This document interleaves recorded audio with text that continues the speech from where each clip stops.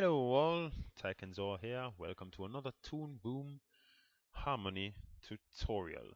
Today we're going to be going through the Paint Bucket tool. So it's really cool in this tool because it finds, I find it that it's really cool because it has a whole bunch of options here than the regular conventional filling something that's not closed or something. So while we're going to this, we have to go through how to create colors again, just a little bit. So over here, I have some colors. You know, I made one stone and I have a regular one. So we come here, I'm going to make another one. So click my plus, double click a little box there. I can rename it um, rock or something. And you just go to, I use multi-wheel mode, so it's easier for me some nice rocky color. And I'm gonna make a gradient so I click gradient and I choose the other color. So I got these two colors to work with. Right? And I choose radial. So it looks like this. Alright. So I want to edit that one a little bit so it's a bit lighter. Nice and gray and I'm done so that's my rock color. Now I'm going to use my bucket tool and fill them in. I could either do this clicking them single one at a time or I could choose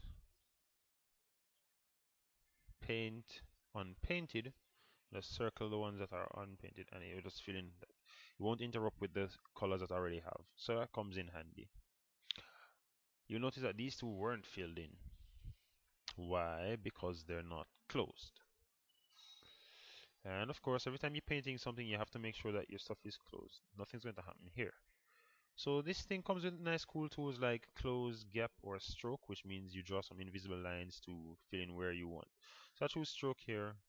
I'm just gonna draw this. You notice this message come up that you added a stroke, but it's invisible. So yeah, press OK. You won't see it there. I'll draw one here too. Right. So I have that. If you want to show them, you press K, and you see those two little lines there, looking all liney and whatever. So I go back to my paint tool and I paint them in.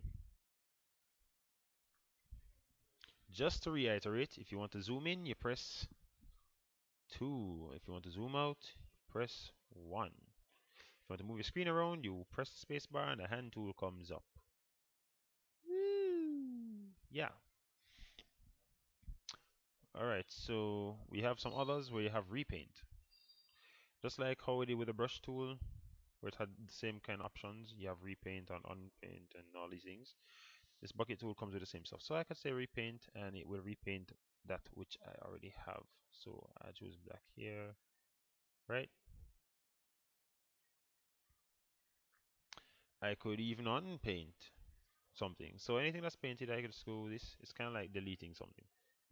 You see my strokes are still there. I want to unpaint these. Oh no, it's still there. So that's where I actually go about my way to select it and delete it, right?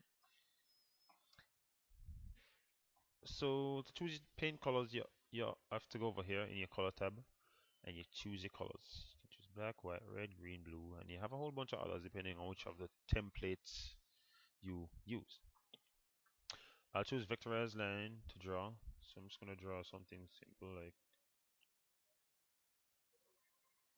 a simple little pebble right I could probably put some little lines here there or I'll just stick with the rock color or choose stone so I'm going to choose to repaint and you notice that in here doesn't paint because it has no color but I can paint the, the line. Unpaint paint unpaint. Close gap and stroke kind of work the same.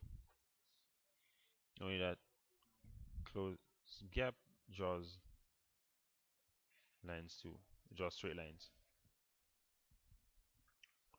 So I'm just gonna paint this in simple. Choose my stone color paint it in and I'm gonna use my gradient my edit gradient tool and just you know kind of change up a few stuff just a little bit.